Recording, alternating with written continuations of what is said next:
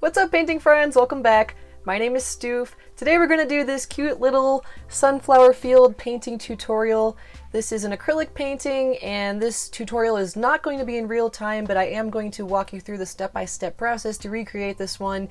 This Painting was also created as part of Dena Tollefson's Yellow Sunflower Art Challenge. She's another artist. She is very talented. She does a lot of work with color and texture, so make sure you check out her channel as well.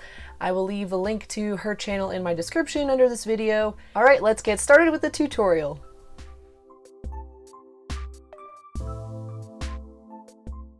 Alright guys, so we got a little bit of paint splatter on the canvas panel already, but that's okay. I um, brought my paint set with me from Pittsburgh to Utah, and we went up over 10,000 feet elevation, and the pressure in my little tubes of paint went up, so some of the paint splattered when I opened up the little bottles of paint, but that's okay. We're to paint over that, no big deal.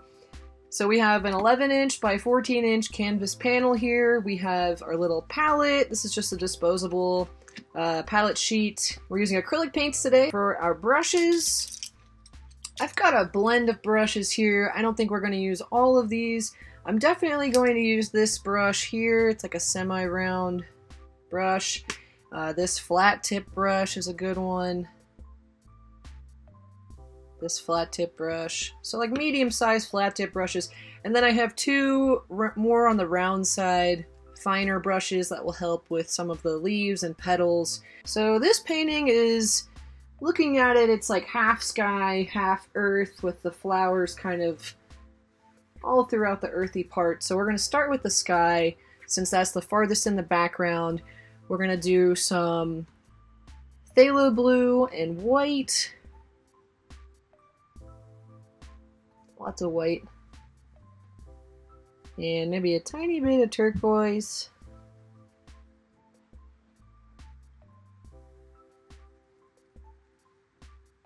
And we're going to start with this mixture, just like a nice warm blue from, say we have that little crosshair for about center on the painting. And you just want to cover that all up. And we're kind of going to make a W like this, because that's kind of how the flowers are going to be laid out. So just make that W, kind of evenly space your peaks there, and just brush this light blue all across the canvas. From there up. Then you want to start low and work your way up, getting good coverage of paint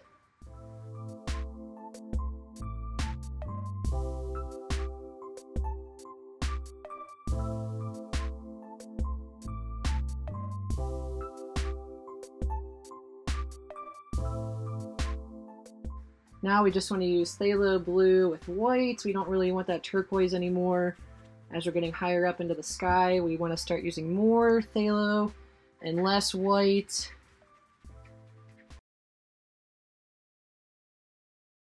The uh, brand of paint that I use today is mostly this Liquitex soft body acrylics.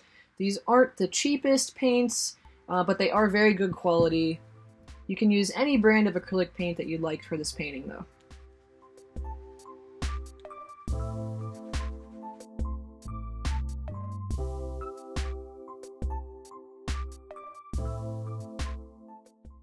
Can throw a little bit more of that turquoise and white color a little farther down too.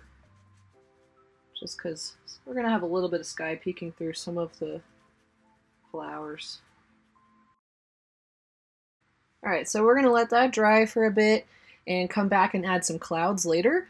Now we're going to work on our base dark shadow color for the flowers. So we're going to start with some Sap green, you don't have to totally rinse off your brush unless you have like a ton of white on your brush and you don't want your color to get too um, too light. So I just mixed some sap green with some of my black. And we're going to mix some phthalo green in there too. And let's mix a little bit of Indian yellow just to warm it up a little. And then basically go right up to your W, kind of leave a couple little spots open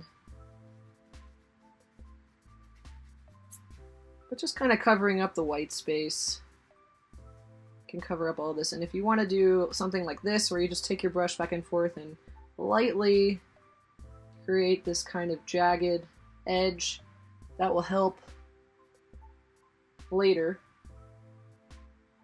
Doesn't have to be anything too perfect right now. Just make it look like that instead of a um, straight line, and then it'll build more like you have a field of flowers rather than a solid line.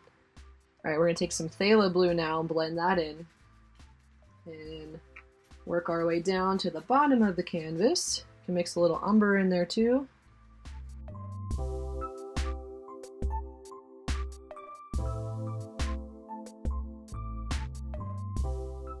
Now we've got like a nice base layer of paint. We're gonna clean off this brush and we're gonna switch to this semi-round brush here. Let's see if we can see it. There we go, this semi-round brush. And we're gonna do some clouds. Maybe we'll give this uh, two minutes to dry and then we'll do our clouds. Alright guys, now we're gonna grab this brush, semi-round brush, medium size, and we're just gonna take some white to start with a little ultramarine and a tiny dab of, just a tiny, tiny dab of black. That was more than a tiny dab.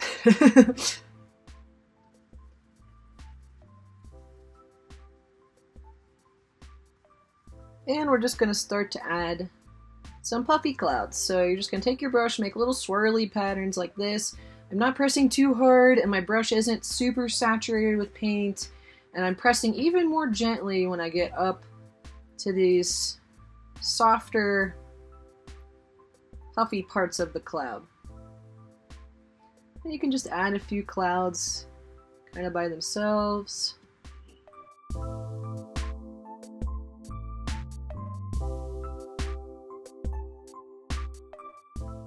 Then you can take the extra paint off your brush by just wiping it down on a napkin and go over that edge again, making little swirly patterns while your brush is dry. This is called dry brushing, and you're just gonna get that nice puffy cloud look. Look at that, very good. Another little cloud down here. And you can add clouds wherever you'd like to have them in your painting.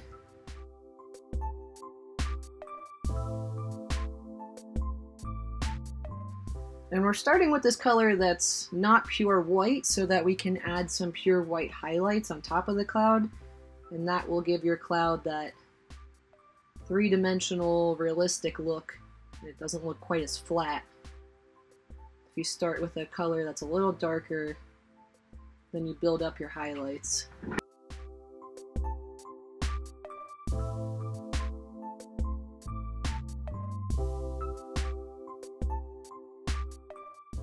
I got the outline first, and I'm kind of filling in the inside of the cloud.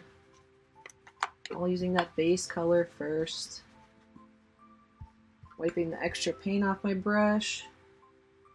And then fuzzing up the edges.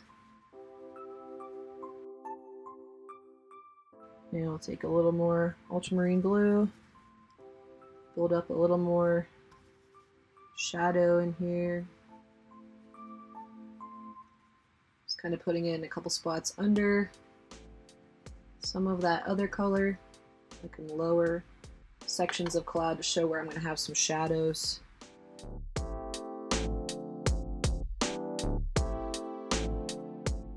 Okay, now we're going to add some highlights. So we're just taking pure white and like a tiny, tiny dab of ochre. That was too, too much.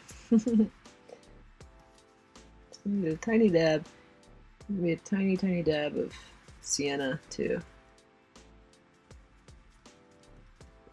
And we're going to add some highlights onto our clouds. First I'm putting it on there. Look how much brighter that looks. Just going to put a little bit on in a few spots and then I'm going to come back and blend it in.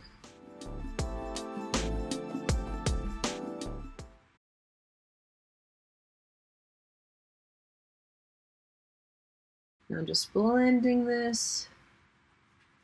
Highlight down.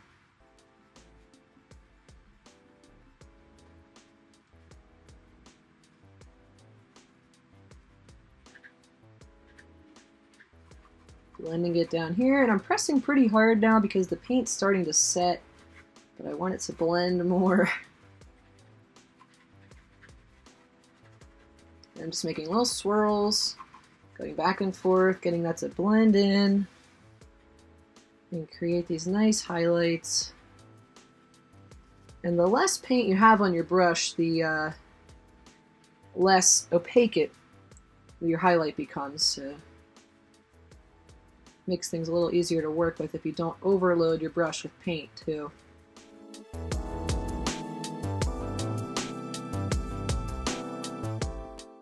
Alright guys, now we've got our clouds. That was pretty simple, straightforward. Next, we're going to start to work on our sunflower. So the bottom is dry at this point. That's good. The first thing I want to do is take this round tip brush right here and we're going to put some stems. We're going to do the stems first and then we'll add our little sunflowers. Then we'll go crazy with the, have fun with the detail. It's going to take some burnt umber and some sap green. And we're going to start dark here, and then we're going to go lighter later. So I'm going to dip my brush in the water, dip that back in the paint just to thin that down some, and now we can start to add some stems for the plants. Make one kind of come up off of that one. Have another one right there. The thinner, the thinner your brush is, the easier this is going to be. You can get more realistic lines with a really thin brush. You just want to start adding a bunch. And they're going to kind of make their way down, and then you're going to have a couple in the center that are just a little bit taller.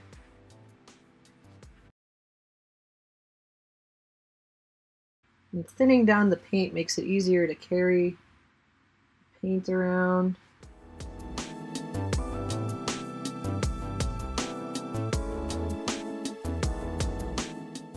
Make sure you get all of your green off of the brush now.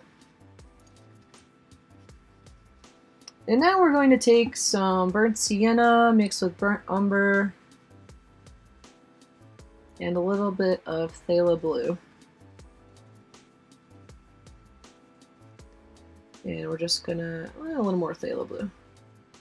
And we're just gonna put some brown circles for the center part of the sunflowers and a few spots here.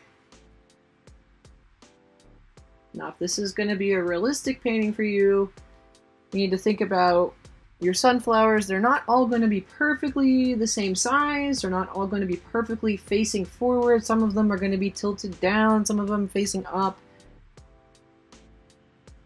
So don't make your circles all perfectly the same size and facing the same direction. Some of these ones in the foreground are going to be bigger.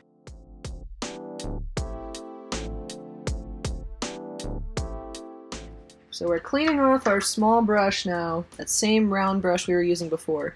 And we're going to take some titanium white mixed with our yellow azo. And some yellow medium and some Indian yellow.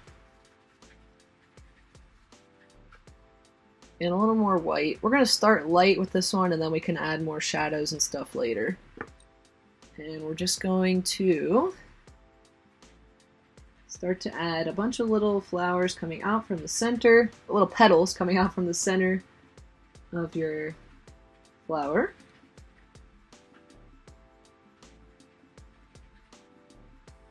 And for the ones that are facing sideways, they're to look different. They're to have the ones facing down are to be partially covered.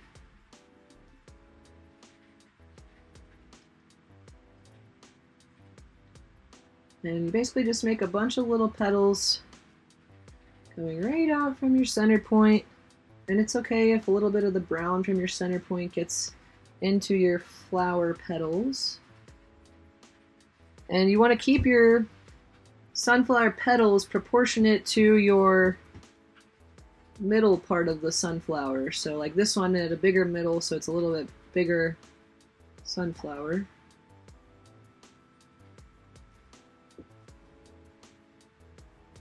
This one's even bigger. And my colors are blending a little bit, but that's okay. We're just mostly focusing on getting these shapes down first, and then we'll add some more detail after this dries a little bit more. We're just trying to figure out where all the sunflowers are going to go.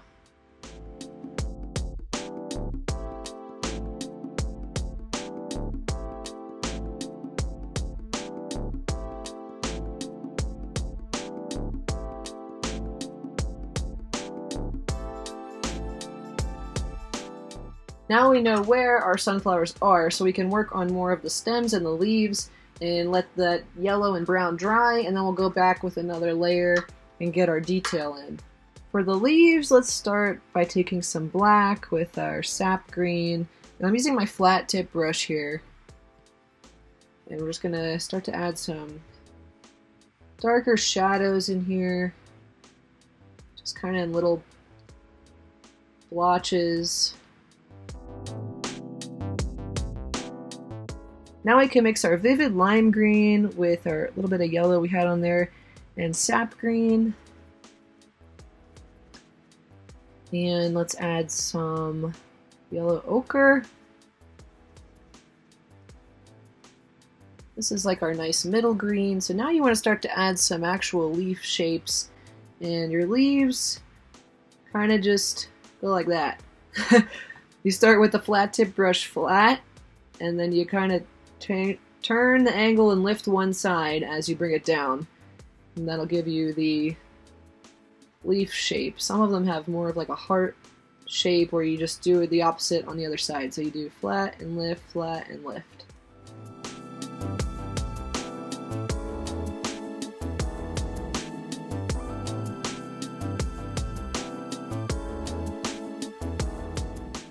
Alright, starting to look a little better there. And let's see, now let's take this flat brush, kind of wipe the extra paint off of it. We're just going to take some white, mix that with your green, your lighter green color, and some sap green, and some Indian yellow. Now we can do some stems. So wherever you have a sunflower, you want your stem to come up to it. Just using my flat tip brush here. And if you have a leaf you want to make a line go out to, you can do that too. And add a little more highlight, add a little more of a highlight on your leaf. Start to add a couple stems hiding in.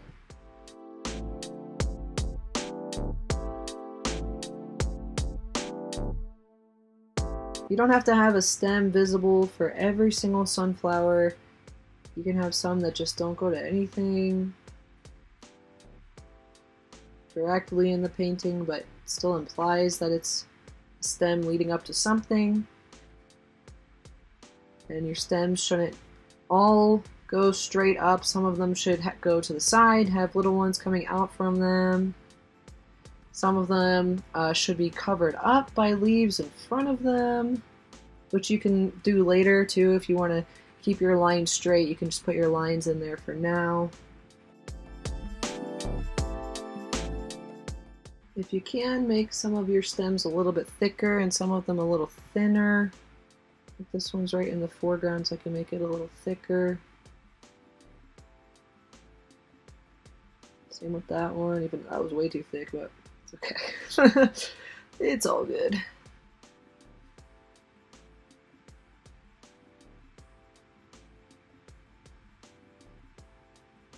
Okay, and now let's go, let's just rinse or we'll just wipe down that brush. And we'll take just some black with our sap green and some umber. And we can just add some shadows. Some of these stems are just in shadow. Just put some coming up that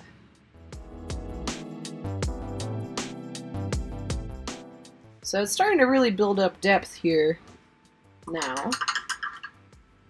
And we can do this again with another round of adding leaves. Just take a little ultramarine blue with our white and our lime green. Take a tiny bit of turquoise there too. And add highlights to some of our leaves down here. Not all of them, just a few of them get a really nice bright highlight.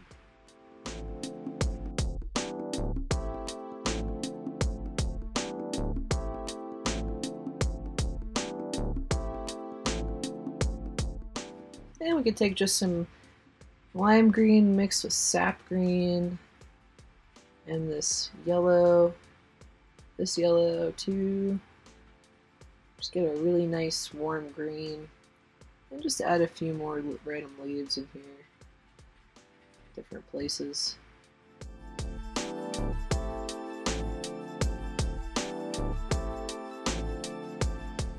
Indian yellow with some yellow ochre and a little bit of sienna. And we're going to start to add this right around the center, kind of making its way out on some of these sunflowers.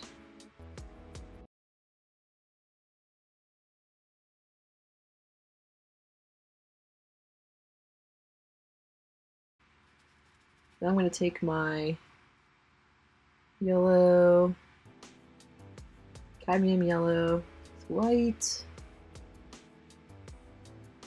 yellow azo, a little bit more of that Indian yellow.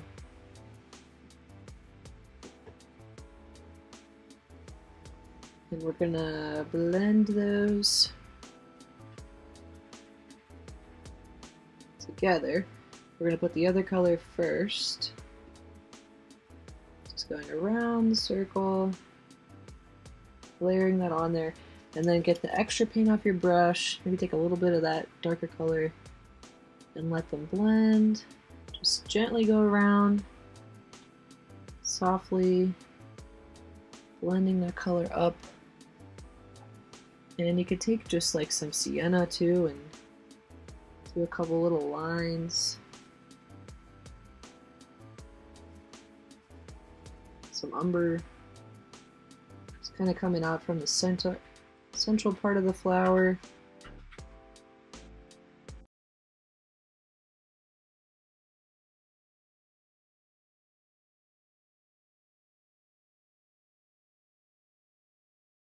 Then you can take your sienna with ochre and brown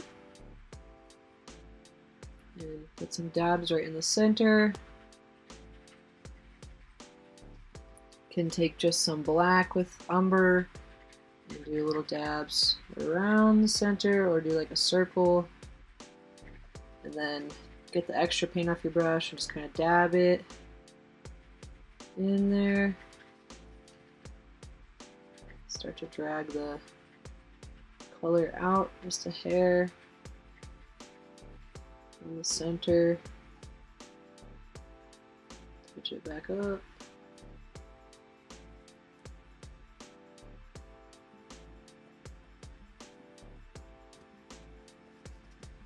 That's basically how they're going to look, more like that one right there.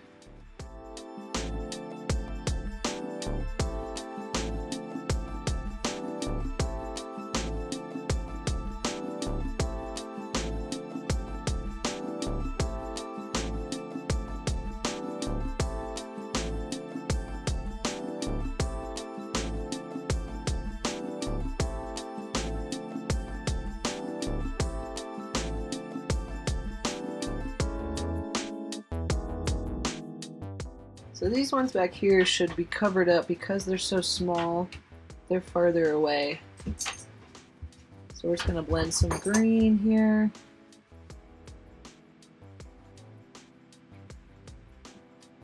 Just cover these ones up.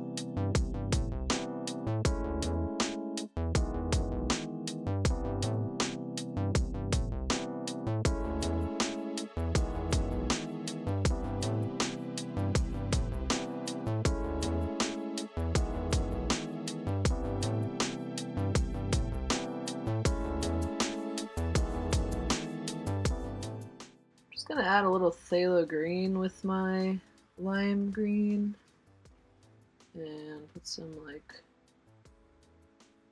cooler green shadowy colors in here that are just gonna just add another type of green to make this a little more exciting.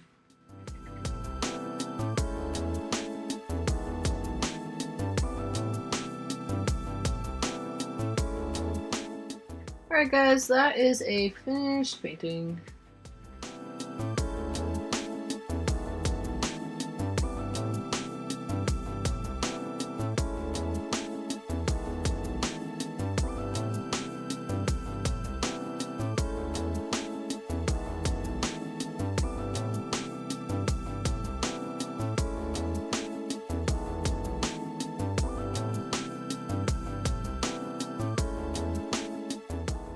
Alright guys, that wraps up this painting tutorial. If you have any questions or ideas for future painting tutorials you'd like to see, leave a comment below this video and I will add that painting idea to my list of things to create for tutorials. Make sure you hit the subscribe button so you don't miss my weekly painting tutorials and painting videos every Thursday night. Thanks and have a great day and happy painting. Bye bye!